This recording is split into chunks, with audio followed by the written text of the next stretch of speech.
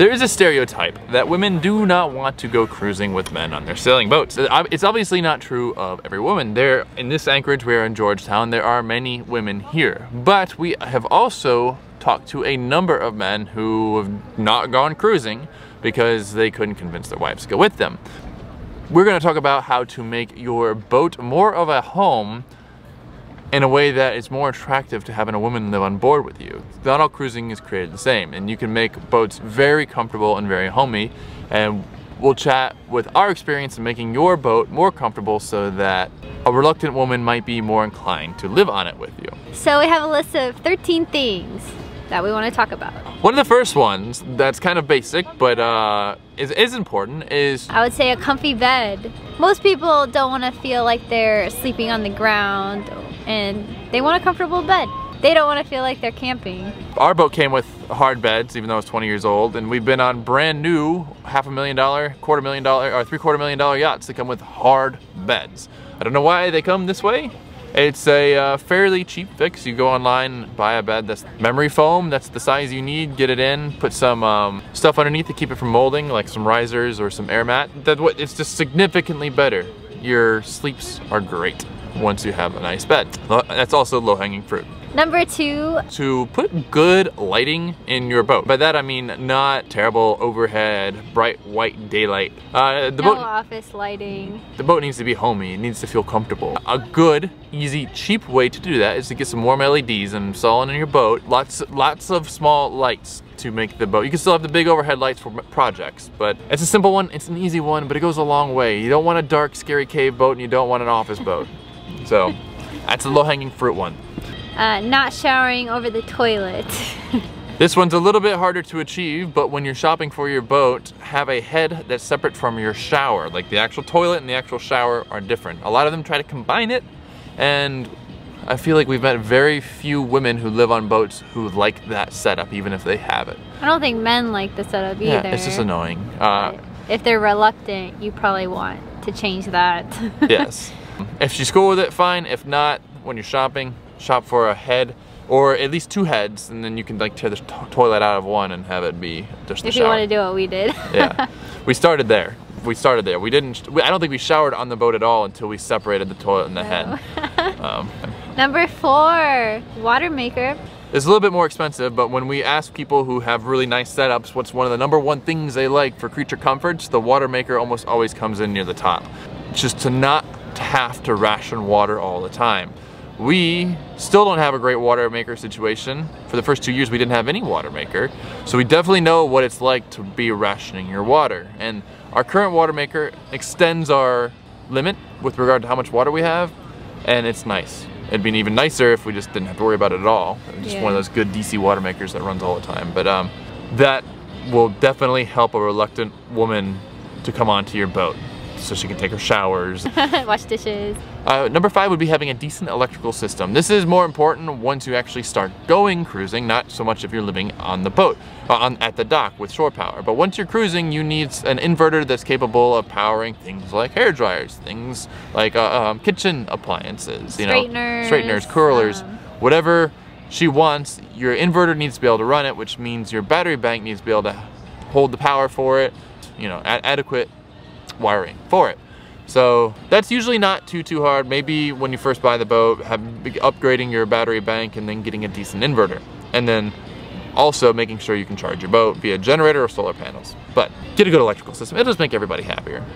Number six, electric freshwater head. We have experience with the, our boat came with four of the hand pump Jabsco toilets. So we used them for about six to eight months. We hated them. They were terrible. They were mm, old. they were stinky. Every single one of them had a problem and they were saltwater. We don't we, like pumping. we, sw we swapped out and got an electric freshwater head with a macerator pump and haven't had a single problem with it. It's just push the button, it's so easy.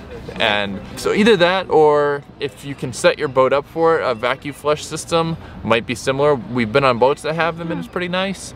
But um, I think they're more expensive to set up. But the electric freshwater head was it's it's it's worth it. We have a composting head, but I don't think a picky woman would want that. so a reluctant woman, electric freshwater head, push the button, you're good to go. Yeah. Seven, full length mirror. This one's a pretty low-hanging fruit. You might have to get, we didn't have any mirrors on the boat for like the first year and a We had, half like, of living this on it. size mirror. A makeup for, mirror for like everything. two years. Um, but this summer we were able to buy custom built mirrors, custom sized mirrors. It wasn't that expensive and we just put it on the back of the bathroom door and it does the job. So pretty low hanging fruit, just gotta get a custom mirror made. Number eight, big closet. Storage space on boats is hit or miss. There's usually a fair bit of storage, but it's all nooks and crannies and folded away. Um, on catamarans, there might be a little bit less storage. I guess convenient closet to Yeah. access all your stuff. Women have a lot more clothing items than men do, so it would be nice to like be able to reach and get them easily. Um, and it also helps uh, if you have a decent amount of closet space for her. Like it's just like with any house, you imagine your stuff in this in the space. So um, that one might require a bit of carpentry if your boat doesn't come with it, but it's ultimately something you can change or allocate space for. Number nine, laundry machine. So these next few are starting to get more extravagant for the even more reluctant or more high maintenance maybe woman. Um, a laundry machine is definitely a luxury. It goes through water so you'll need the power and the water maker to handle it. But to be able to do your laundry and dry your laundry on your boat is very, very nice. Um, we have a, in between, we have a little plastic uh, Hundred dollar $100 caravan washer washing machine. spinner thing. It washes the clothes and it spins them dry and we still have to hang them up and even that is nice but um, yeah maybe someday we'll go all the way and get one of the nice electric uh, units. Number 10, climate control on the hook. Our boat came with a uh, air conditioner but it takes a lot of power and it's kind of old and you have to always run the generator. So we don't we tend to not use it that often while we're on the hook. But we have seen boats that they're, they have nice generators, they're quiet, they're in an engine room well insulated, and they have the fuel capacity to just run the, the air, con- air conditioner or they have like diesel heaters for the cold. Yeah. And it's just so comfortable. The boat, boat's drier. Yeah. um, it's nice to go to bed and have it drier when it's really hot and humid, just for a couple hours at least, to get comfortable and, and you fall asleep better. So it's a luxury, but it's really nice. Uh, it's it, it's the difference between camping and staying in a hotel almost. Yes.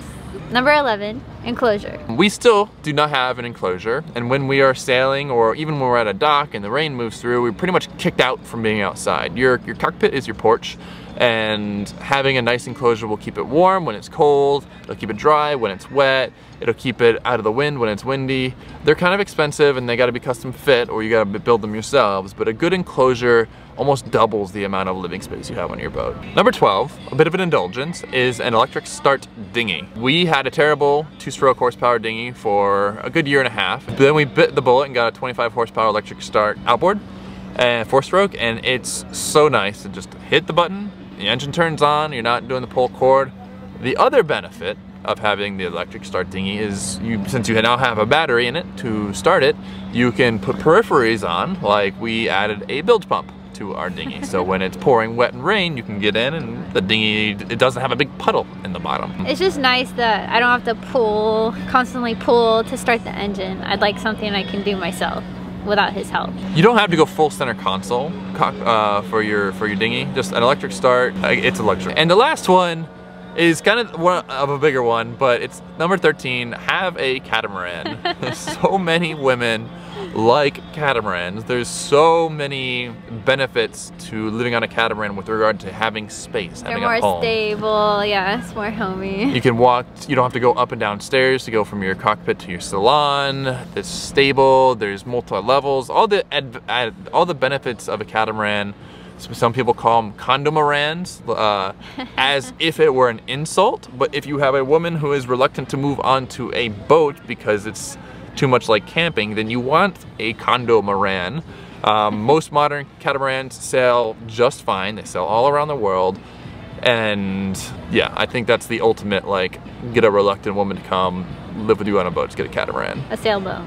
Men, again, this is a stereotype, this is not true across the board, and some women will like this, but men have this romantic idea of beating to windward in a sailboat, pushing, plowing through the waves. But you don't you don't do that very often. You live on your boat far more than you sail on your boat. And so I just want to say I like sailing a monohull better because I, feel the wind and, and the movement but to live on, I like a catamaran. So that's our tips for those of you whose partners are reluctant to move on board with you. I mean, ultimately, if she's not into it, it's not gonna happen. But show her things that she's more inclined to be interested in and don't show her the rough life. and if it takes you an extra year to do it, or two years to save up for it, at least you can still live the dream and get out there and do it. You don't have to completely think of something else.